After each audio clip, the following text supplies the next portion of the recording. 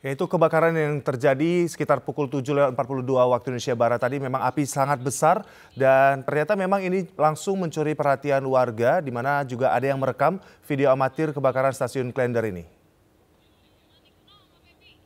Bisa kita lihat begitu banyak sekali asap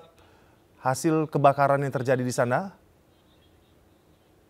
yang membumbung tinggi pada pagi tadi yang direkam oleh warga yang melihat langsung kebakaran yang terjadi di stasiun Klender.